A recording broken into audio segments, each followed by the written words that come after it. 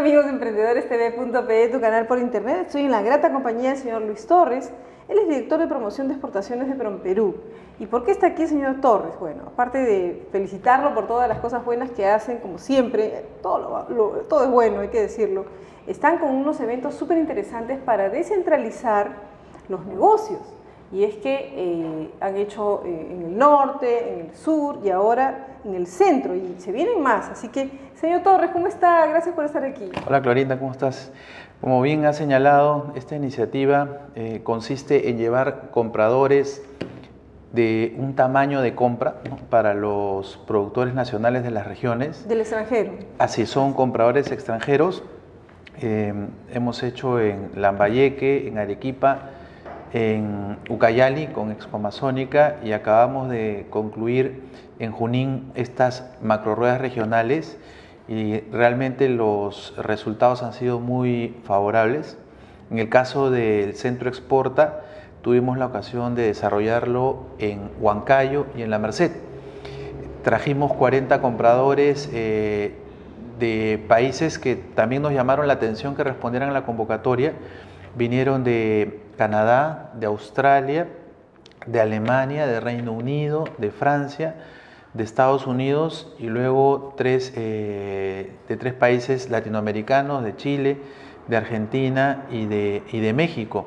En total estos 40 compradores, casi el 90% venía por primera vez a nuestro país y eh, los productores que tuvieron la oportunidad de, de, estar en la rueda de negocios, que fueron aproximadamente unos 200, quedaron muy satisfechos y pudimos colocar artesanías y confecciones, que fue en, Huancayo la, la, mayor concentración de número de empresas, pero en la Merced lo que sí fue todo un boom para estos compradores fue encontrar los cafés especiales y cacao, que es donde se, se, hizo el mayor monto de opciones de compra. Qué bueno, o sea, eh, realmente es una excelente estrategia y está demostrando que que se pueden lograr cosas inmediatas. ¿no? Así es. Eh, y un detalle eh, anecdótico fue que nuestros compradores fueron por tierra. Nosotros no los llevamos eh, vía aérea, sino que no la, hay vuelo directo. Así es, no hay un vuelo directo, pero los comentarios fueron que les impresionó el estado de la vía. Dos, el tráfico que había en la ruta hacia Huancayo, un tráfico bastante intenso. El paisaje, y cuando llegamos a la propia ciudad de, Huancayo, ellos también se mostraron muy satisfechos de la oferta turística que se estaba mostrando. Entonces, esto también es una muestra de que ya al interior de nuestro país varias regiones están este, mostrando estándares de, de, oferta hotelera bastante buenos para estos compradores y muchos de estos compradores ahora van a regresar para hacer turismo porque les ha encantado la, la zona y ven que no es nada complicado, lo que de alguna manera les decían, hay que tener cuidado, todos muy este, satisfechos con esta actividad. ¿Qué se viene entonces luego de eso? Bueno, ahora tenemos eh, la Expo Perú México, que es nuestra Expo Perú final de este año, es el 20 y 21 de noviembre. El formato que estamos haciendo con México es de los eh, más completos habida cuenta que va a ser eh, de alguna manera la primera actividad oficial con TLC aprobado recientemente este año. Estamos eh, llevando una misión eh, de empresarios peruanos pequeños y medianos, unos que son alrededor de unos 50 empresarios, 50 empresas van a tener ruedas de negocios con sus contrapartes y luego hay un segundo grupo de empresarios que están eh, interesados en hacer una misión comercial ya no solamente en el Distrito Federal donde va a ser la rueda de negocios, sino también en un par de eh, estados eh, en México. Ellos van a tener un tiempo adicional de estadía en México y vamos con el formato completo, como te comentaba, con el desfile de modas. Estamos llevando dos, hasta tres diseñadores peruanos. Tenemos un Perú mucho gusto, donde vamos a mostrar el ceviche Ampisco Party, que es eh, el producto que estamos ahora eh, difundiendo ¿no? en estas eh, presentaciones de la, del, comercial de la marca País para, para el exterior. Y un formato de foro empresarial donde va a estar presente el ministro Silva con su contraparte, el ministro Ferrari, donde van a dar cuenta de las ventajas del acuerdo comercial suscrito y también esperamos que eh, se puedan firmar algunos convenios entre los gremios empresariales que están asistiendo. Va a haber un workshop de turismo para poder eh, continuar fomentando este flujo de turistas. Entonces es una actividad bastante completa.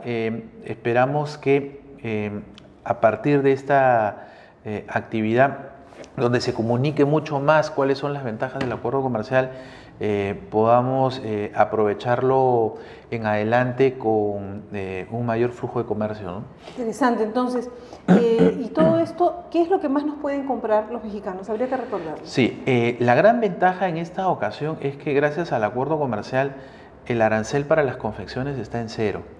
Entonces, eh, estamos llevando alrededor de los que están preinscritos, hay 20 eh, empresas del sector de confecciones, tenemos desde eh, tejido de punto, o sea, los, los t-shirts en ropa para adultos, damas y niños, hasta confecciones en pelo finos, alpaca.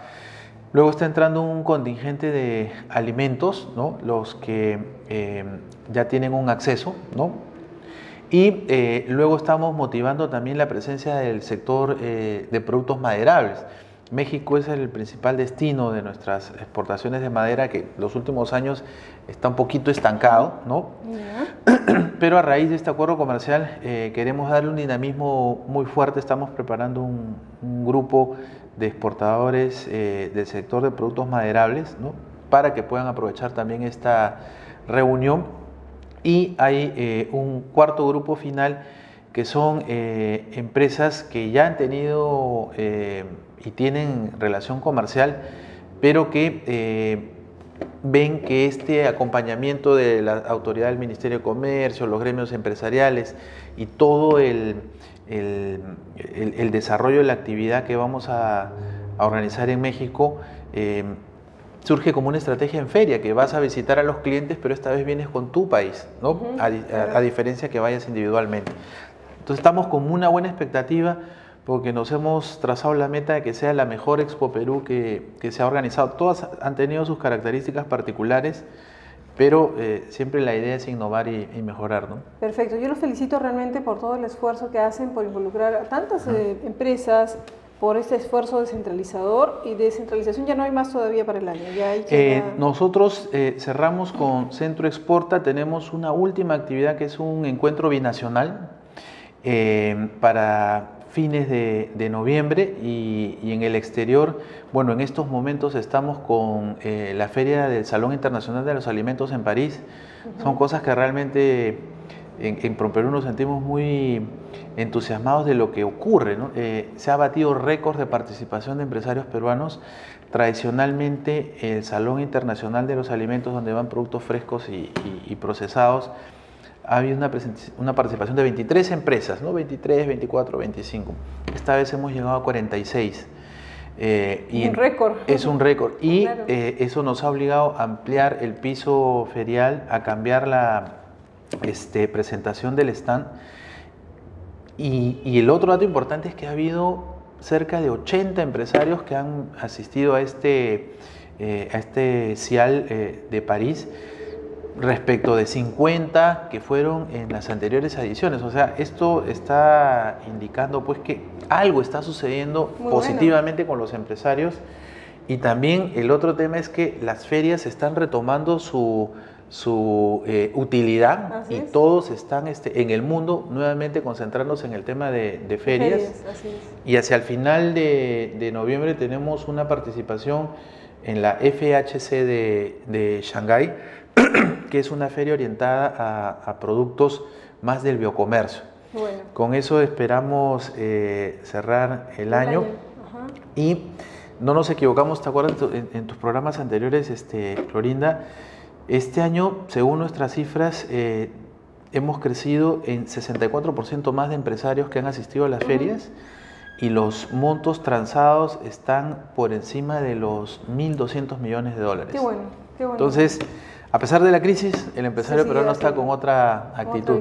Me parece genial. Luis Torres, muchísimas gracias por habernos acompañado al director de promoción de exportaciones de Perú Perú, el mejor de los éxitos y que yo estoy segura, lo de México y todo lo que se viene será espectacular. Gracias. Una pausa, volvemos.